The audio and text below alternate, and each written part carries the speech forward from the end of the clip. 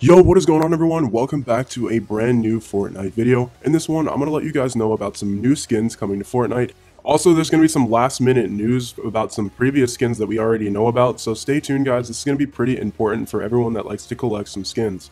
Now, some of these skins will actually be free, which is pretty epic, and on top of that, we're actually going to be getting a new limited time skin that you can download right now.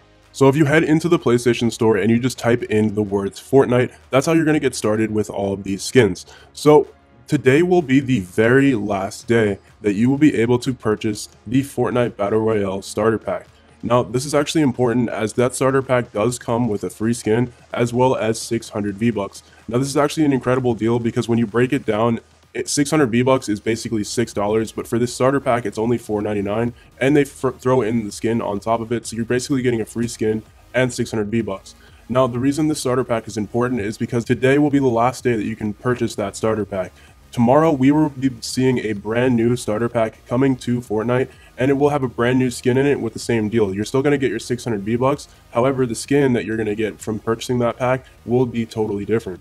Now, on top of this, we're actually going to be seeing new free skins come to Fortnite as well. So, uh, if you guys are familiar with this Fortnite Battle Royale PlayStation Celebrity Pack, they will be switching that out with a brand new Celebrity Pack come tomorrow. So, if you have an active PlayStation Plus subscription, you will come into the store tomorrow, type in Fortnite, and instead of seeing the Celebrity Pack, you will actually see a brand new free PlayStation Plus pack that comes with a free skin and back bling just for having PlayStation Plus. Now, the previous version of this skin that we could get, honestly, in my opinion, I didn't think was that great. And to this day, it's still known as like the scrub skin or the skin that noobs put on because they just don't have any other skin.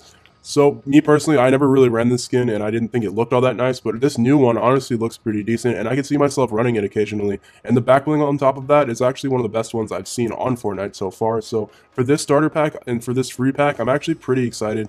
So hopefully you guys did enjoy this quick update video letting you guys know how to download these new skins as soon as they drop. Now they will be live later on tonight, right around the item shop reset time. So as soon as that happens, just go ahead and check your PlayStation Store. You're going to see the new starter pack and that new celebrity pack. So hopefully you guys did enjoy this video and I will be seeing you guys later on in the next one. Peace.